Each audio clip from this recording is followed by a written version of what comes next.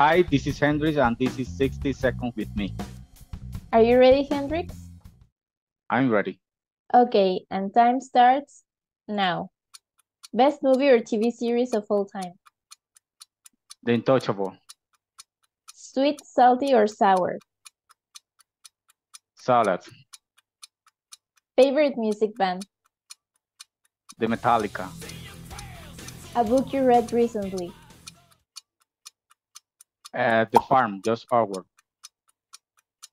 If the pizzas are round, why do they come in square boxes?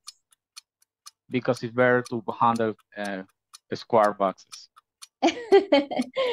What's the best advice you would give to your teenage self? Uh, basically, do your best job and respect the people. uh, what's your hobby? Do you have a hobby? Walk in the park with my pets. What's a superpower you wish you had? Uh, it's more stronger to help people upside whatever. Okay, and time's up. Are you ready for your 60 seconds of fame? Who's next?